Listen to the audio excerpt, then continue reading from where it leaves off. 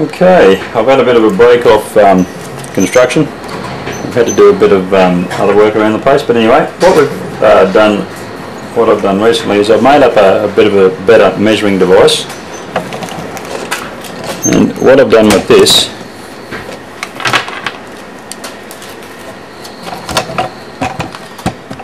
is I've got two 1.25 litre drink bottles. I've cut the first one off this far from the top, so that's that one there. And I've cut the second one off that far from the bottom, so that used to go on there. Okay, so we've inverted this one into this fella, and we've just got some sticky tape around the outside of it. Up in through there, I've got a steel tube that goes from the underneath the lid there. I've filled that lid up with silicon inside to hold the tube in place and that just goes up through the bottle and inside here I've got a 750 ml drink bottle. And I've marked that with uh, 100, 200, 300, 400, 500 and so on. So that just sits over the tube like so. And when you get gas in the other end of the tube it should do something like this.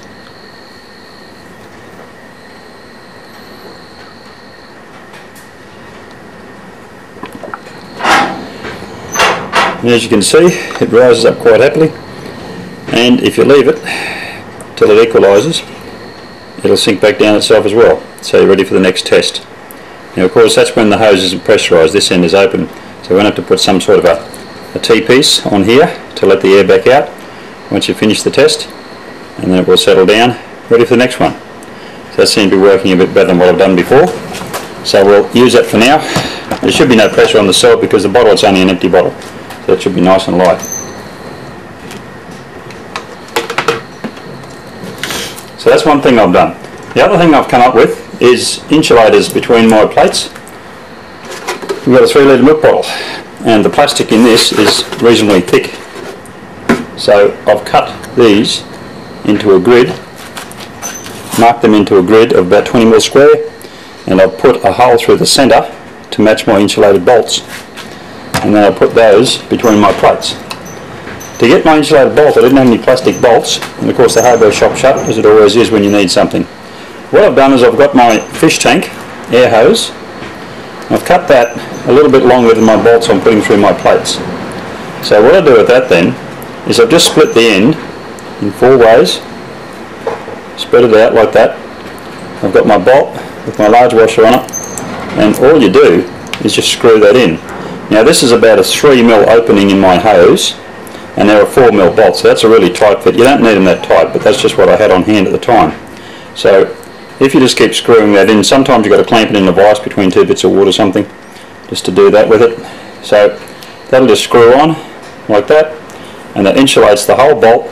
These spread out at the end, up against the washer, and you split the other end to do the same. This is my new cell I'm working on now, and that's what I've done with it. On there you can see the bits of plastic that are spread out under the washer, and the same on the other side. So that works really well for an insulated bolt. I've also got my milk bottle insulator on there and I've bent pieces of milk bottle that I've cut out and doubled them over and put them between my plates on the outside.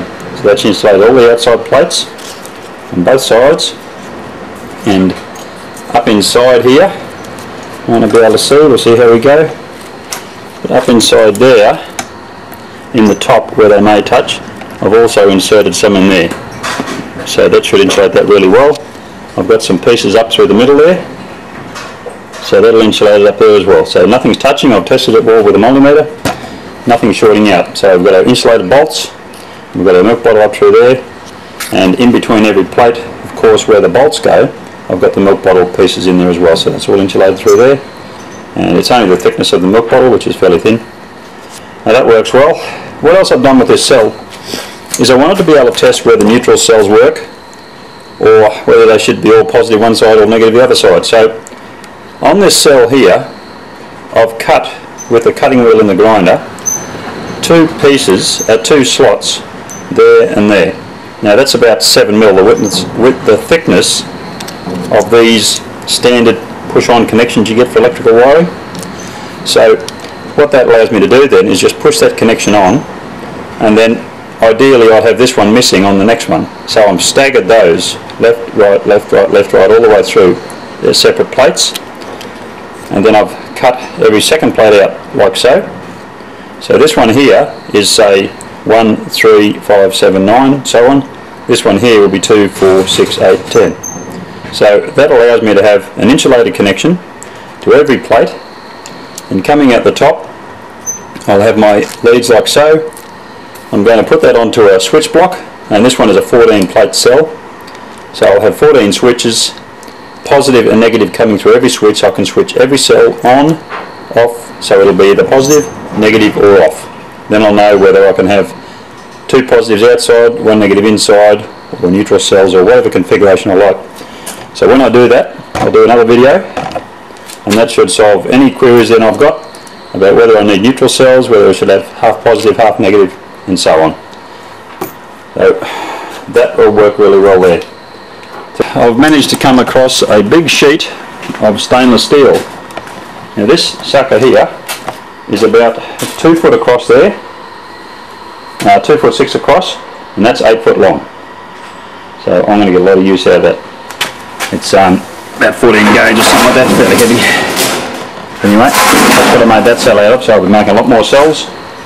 And uh, depending on how I go, I might put some on eBay or just for sale or whatever for people that don't want to make their own and then they can go through an experiment as we've done.